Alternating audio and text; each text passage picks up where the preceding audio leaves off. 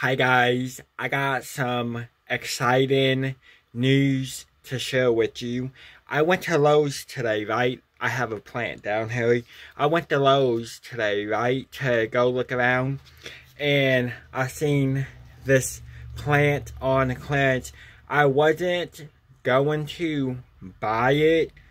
But I walked around, thought about it, and I said, you know what? Let me buy it. And I got this for ten dollars, and when they were ringing it up, it rang up to thirty. Hold on, not thirty. Thirty dollars because it was twenty nine ninety nine. So basically thirty dollars, and you know they took it half off because clearance, and I got it for ten bucks. I um can't pronounce the name I will just put it up here on the screen. So, yeah.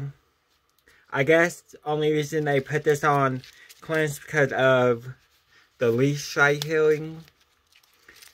I guess. I don't know. But yeah, I'm going to water this and I will update you guys like in a month or so. So you know how it's doing.